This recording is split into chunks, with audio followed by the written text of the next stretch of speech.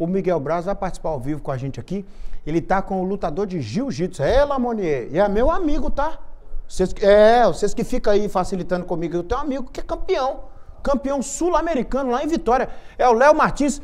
Grande Léozão. Ô Miguel, o Léo foi campeão medalha de ouro. Você vai cumprimentar ele e pede para ele fazer a demonstração. E com você, o golpe, o golpe que fez ele ganhar a medalha, Miguel, que eu quero ver daqui. Ô Nico, essa competição ocorreu no último fim de semana em Vitória, inclusive ele trouxe duas medalhas e um cinturão. A gente vai conversar com ele para falar sobre esta competição. Léo, boa tarde para você, seja bem-vindo ao Balanço Geral. Fala um pouco para a gente como que foi essa competição em Vitória. Esse campeonato chama o Sul-Americano X-Combat, né? Uma federação bem conhecida aqui no Brasil, que promove vários eventos de jiu-jitsu. Eu já sou bem acostumado a lutar lá, eu gosto de lutar, me sinto bem.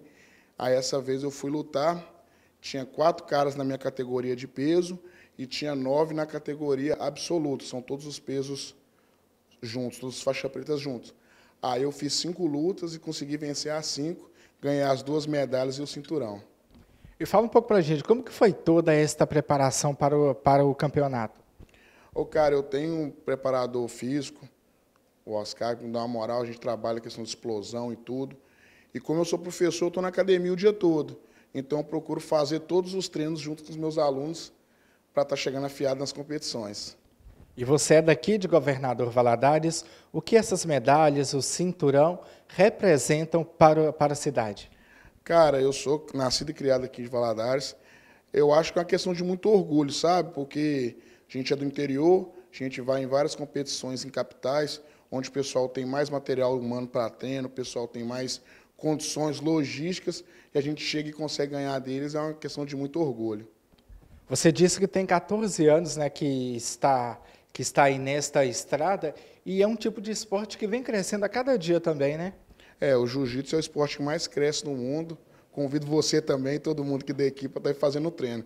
É o melhor esporte do mundo. E fala um pouquinho para a gente. Como que está a preparação para as próximas competições? Você vai dar uma pausa? Agora, para dezembro, a gente vai ficar mais tranquilo, a gente vai ter a confraternização da equipe, a gente vai descansar, mas em janeiro eu já volto com tudo já. Já tem competições à vista já.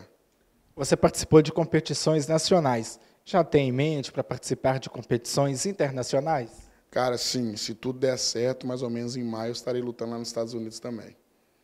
Muito bem, a gente deseja muito sucesso para você, viu? Parabéns mesmo, representando o governador Valadares. Nico, se eu fosse você também, ó, entrava, participava, quem sabe você traz um monte de medalha para a gente. As, meda as medalhas minhas é só para corrida, viu, Miguel? Sem, não seja saliente que quem vai tomar o golpe agora é você, que eu vou pedir o Léo para demonstrar aí o, o, golpe que fez lá. O, se você quiser finalizar ele também, você pode finalizar, viu, Léo? E fala para ele, ô Miguel, que para esse evento de maio lá em Estados Unidos, se ele quiser bancar minha, a minha passagem, o Albuquerque Júnior me libera para ir lá fazer a cobertura lá e mandar os flash aqui pro Tomás. Beleza?